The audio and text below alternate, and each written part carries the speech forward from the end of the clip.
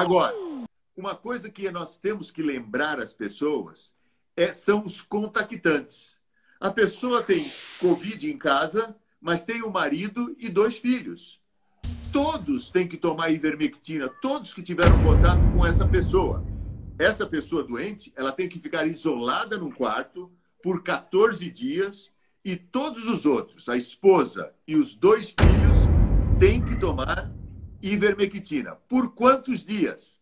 Três dias seguidos. Por isso, pessoas que estão fazendo uso desse kit, onde tem ivermectina, por exemplo, que é uma droga bastante hepatotóxica, e a hidroxicloroquina combinados, estão indo parar na fila do transplante ou morrendo. Então já não é mais o momento da gente fazer sangria. Esse século já passou. Nós estamos no século 21.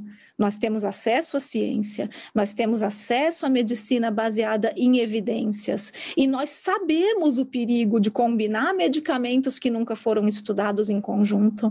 Nós sabemos o perigo de receitar medicamentos sem indicação e nós sabemos principalmente o perigo de fazer isso num momento frágil, onde as pessoas estão desesperadas, onde as pessoas estão com medo e onde médicos também precisam de um respaldo e de diretrizes claras do Ministério da Saúde, do Conselho Federal de Medicina e das sociedades de classe para conseguir ter tranquilidade na sua prática médica.